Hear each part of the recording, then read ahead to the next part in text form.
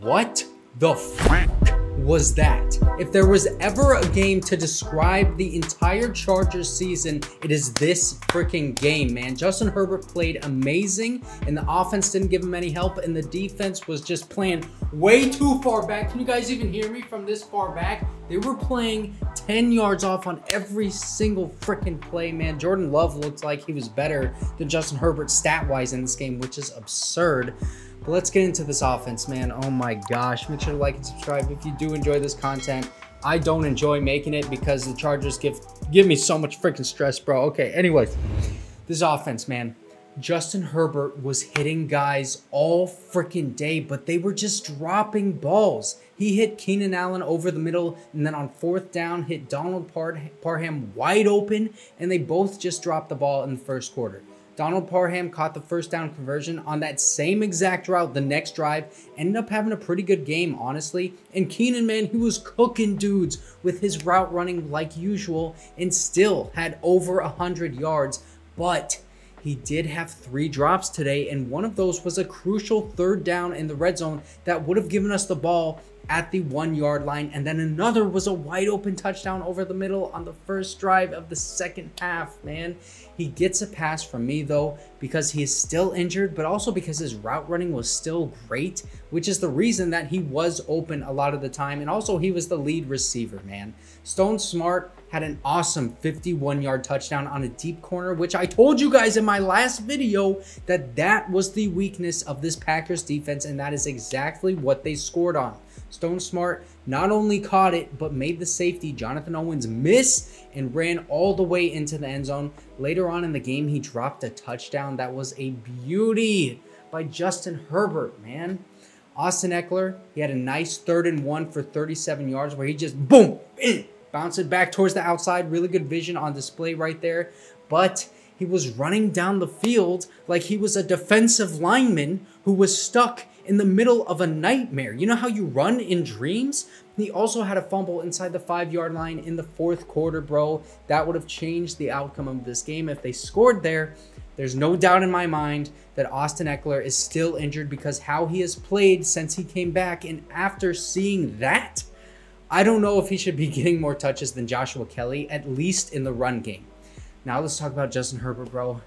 Justin Herbert looked great in this game. He has such great pocket presence and mobility in the pocket as well as out of the backfield, and he can make guys miss, man. He's a sneaky Lamar Jackson kind of, you know what I'm saying?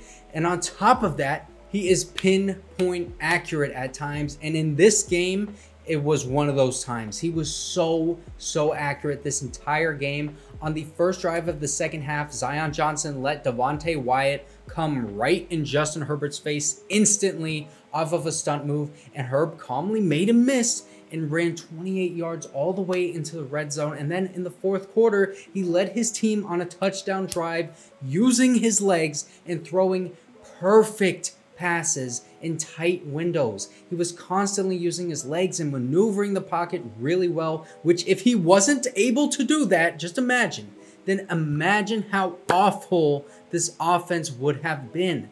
This goes back to the inconsistency of this team, man. The offense either looks terrible or amazing. And really, the only time it looks amazing is when Justin Herbert just takes over the game. But even when he does, like we saw today, where he played elite, his receivers still need to catch the ball. And in this one, they just simply weren't doing it consistently. Even Keenan Allen wasn't. And that is not because Herbert is throwing the ball too hard. It's just on the pass catchers, man. And the sun was getting in their eyes on some of the catches. And Quentin Johnston had a really rough game. That drop at the end of the game would have been a touchdown to win.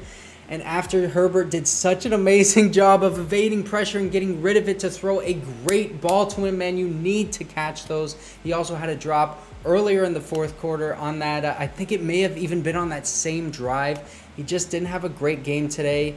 No excuses on that one. That is all on him. And and you know what? Now that I'm thinking about it, what is going on with Derius Davis? That is our other TCU receiver that we just drafted. He was getting good reps earlier in the season, but now he's like non-existent. What is it going to take for us to start doing end arounds again and quick slants with him? I mean, they're using Alex Erickson the same amount as him.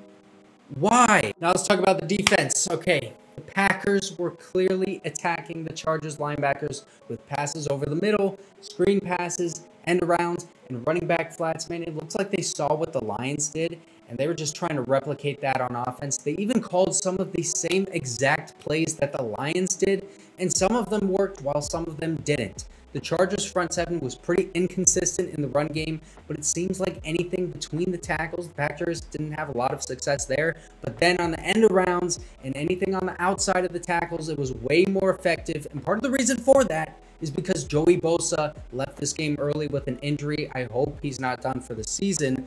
But also, behind Tuli and Khalil Mack, we were literally playing Justin Hollins, who we signed this week because Chris, Chris Rumph is on IR now, so we don't have anybody behind Tuli and Khalil Mack. Tuli Tuipulotu looked good in run defense and had an awesome tackle for loss in the second half and was also good in pass rush in this game where he had a pass deflection and some pressures, but without Joey Bosa, the stunt move that they would run was not even called, so it took away a lot of that pass rush potential for this Chargers defense. What also takes away from the pass rush potential is when you drop Khalil Mack or Tuli Tuipulotu back in coverage when those two are quite literally your only pass rushers left on this freaking roster. I don't care what the scheme is because you need to adapt it to the players that you have and put your players in position to succeed. And everyone on this defense would be in a better position with your pass rushers rushing and not in coverage. So let's stop doing that. Alohi Gilman, though, continues to be the best freaking safety on this roster, even on a team with freaking Derwin James, bro. He comes downfield so fast and with a vengeance. He is a consistent open field tackler and reads and diagnoses what he sees so fast. Michael Davis, got away with the pass interference on a deep Romeo Doubs pass and then let up a pass to A.J. Dillon on third and eight, where neither him or Kenneth Murray seemed interested in guarding him coming out of the backfield. And that is a big problem for this defense. Those third and longs, it, we'll get into that later. There's another play on the Jayden Reed touchdown run where Michael Davis was running down the field, and that Jayden Reed run was towards his side Michael Davis did not even turn around and know that it was a run play until Jayden Reed was 30 yards downfield.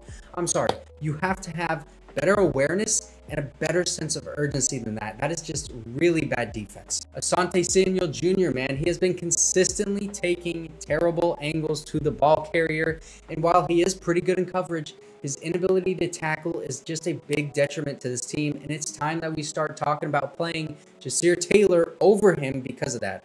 Ja'Sir is one of the team's best tacklers, and he comes downfield fast, similar to Alohi Gilman. So, in my opinion, it's worth giving him more reps but honestly, both of these guys play a lot on defense anyway, so I don't know if it would make a huge difference. If Staley decided to stop playing his defensive backs 5 to 10 yards off on every single play, including the third and shorts, that would make a big difference. But that's not even the worst part of this defense.